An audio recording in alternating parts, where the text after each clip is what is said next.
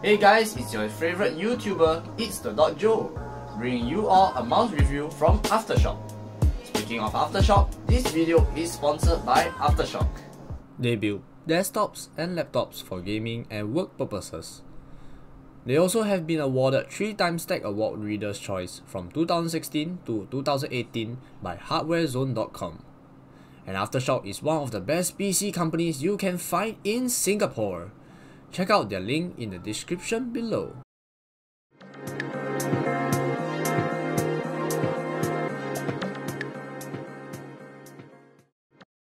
Wow, pretty mysterious isn't it?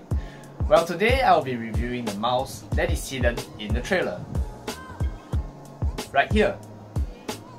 So first off of the packaging has a nice design of showcasing the mouse and lists the details and specification of the mouse at the side of the box.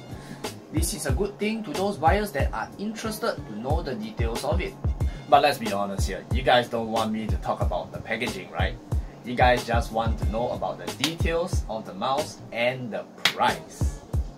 Well, you got it. Let's just skip to the unboxing, shall we? Where's the mouse? So first of all, we have here the Hexar Ultra Light Performance Mouse from Aftershock.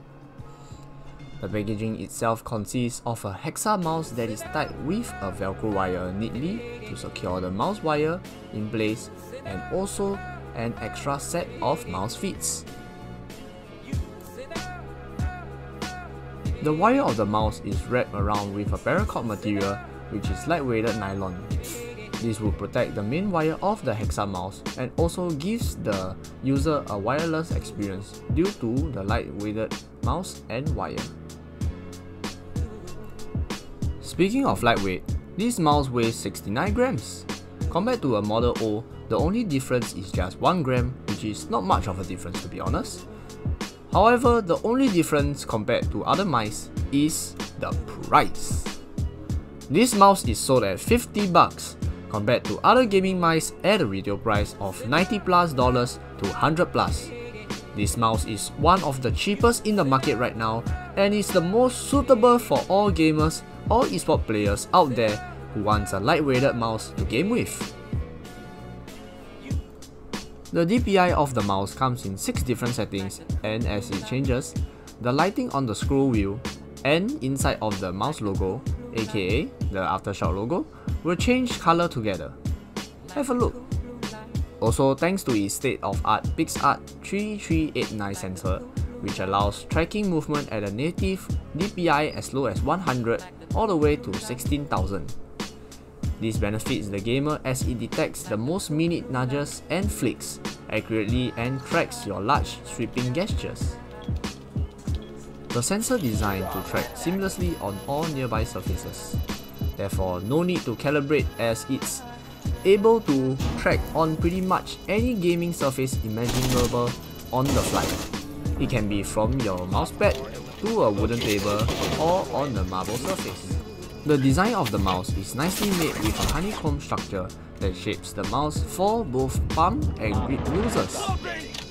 It not only makes the Hexar mouse lightweighted, it also enables airflow for those users with sweaty palms. This then enables absolute comfort when using the mouse. For the curious gamers and tech dudes out there, here is a simple sound test of the mouse for you guys. Enjoy!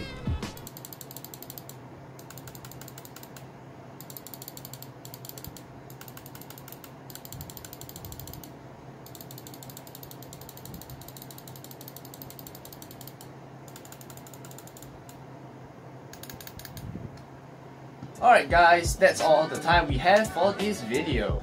So if you guys are interested with the Hexar mouse, well guess what? Victoria Cheng is gonna give away the same exact mouse on her YouTube channel. All you have to do is answer her question on her YouTube channel, uh, which is the latest video of her building the PC. And if you're lucky enough, you just might win one home.